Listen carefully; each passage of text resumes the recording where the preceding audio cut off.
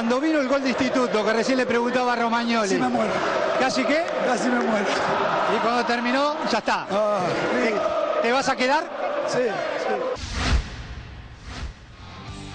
Bien, ya estamos llegando a la recta final de este mediodía por CN23, pero no nos vamos a ir antes sin hablar eh, de turismo. Y hoy no vamos a viajar por la República Argentina, sino nos vamos a quedar en Capital y vamos a ser alumnos. Pero los detalles nos trae nuestro compañero Ricardo Ceronero. ¿Cómo andás? Buenas tardes. Hola Andrea, buenas tardes. ¿Cómo Y estás vos? feliz ¿Bien? lunes, ¿todo bien? Bueno, igualmente. Nos quedamos aquí en Capital Federal porque todos sabemos que el turismo, como Sí. sector productivo, realmente está pasando por un gran momento, crea empleos, trabajo, inclusión social. De todo. Pero fuimos a una de las universidades más prestigiosas que tiene la República Argentina, un instituto también pionero en esto de formar alumnos y profesionales en turismo y hotelería, que es CENCAP, Universidad Siglo XXI, que depende este año de la Universidad Siglo XXI.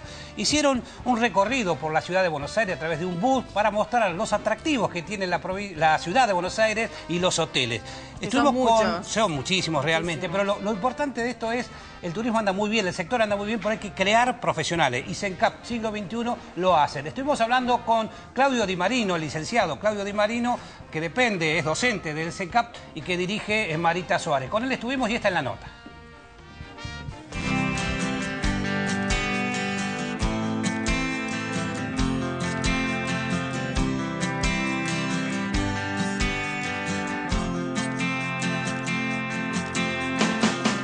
Estamos en una clase interactiva eh, propuesta por la institución CENCAP. Este, estamos llevando alumnos a un recorrido de la ciudad de Buenos Aires para que reconozcan la ciudad de Buenos Aires, tanto hote- su hotelería, sus atractivos. El objetivo de esta clase es que el alumno aprecie el tipo de hotelería que hay en la ciudad de Buenos Aires y también reconozca los atractivos. Es importante reconocer los atractivos de la ciudad de Buenos Aires. Una es el centro turístico más importante de la Argentina, porque así podemos apreciarlo, podemos cuidarlo y podemos valorarlo. Y la intención nuestra es que también esto transmitan este, futu- estos futuros profesionales a, a sus pares y también a sus futuros clientes sobre lo que son los atractivos de la ciudad de Buenos Aires para poder cuidarlos. Ah. CENCAP es una institución eh, dedicada a las carreras eh, de turismo y hotelería, tiene una trayectoria de más de 20, de 20 años, este, que dicta carreras no solo de turismo y hotelería, sino, sino también está incorporando otras carreras como las tecnicaturas en relaciones públicas, en comercialización, que se abrirán el próximo cuatrimestre.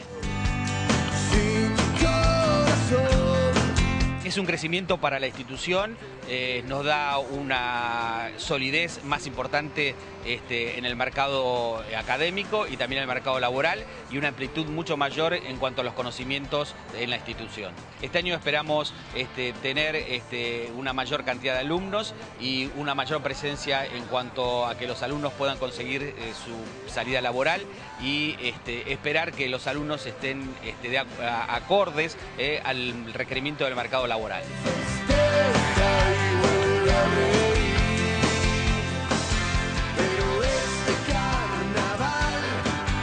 El Ministerio de Turismo está trabajando este, muy bien, es una gestión, la verdad, excelente del ministro Meyer.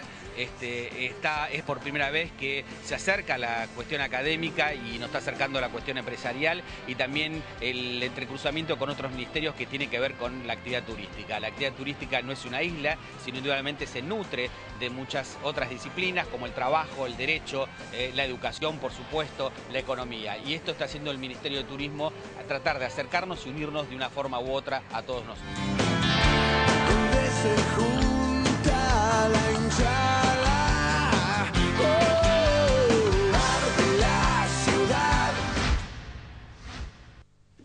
Muy bien, nos queda muy poco para compartir. En minutos Sí. nada más, estamos compartiendo con ustedes más imágenes y detalles de lo que ha ocurrido, esto que fue registrado por las cámaras de seguridad. Es realmente impactante, ¿eh? lo que ha Impactante, pasado sí. con Ahí esta lo vamos a mujer. ver. Afortunadamente, el No disparo pasó nada. sí, impactó en su pierna y pudo ser atendida y tanto ella como su bebé, porque está embarazada, están fuera de peligro. Otra mujer embarazada valida esta actitud cobarde de este delincuente que afortunadamente fue detenido, que puesto a disposición de la justicia. Son dos, ¿eh? El mayor sí. es el que estaba herido y ya fue eh, bueno, puesto a disposición de la justicia. Esto lo 27 vemos. años esta joven. Sí, Estaba ingresando a su casa en el día de ayer. Bueno,